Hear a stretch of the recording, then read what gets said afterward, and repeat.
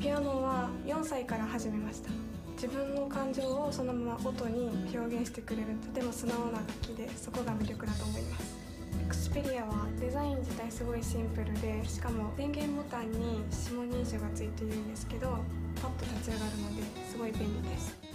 メトロノームのアプリはサクサク動くしバッテリーも長持ちなのですごく助かります。エクスペリア X パフォーマンスはハイレゾ対応でからの音が聞こえてきてまるで自分がそこにいるかのように感じられます。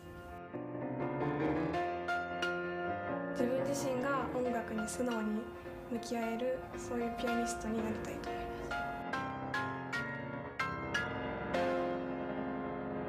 だから私は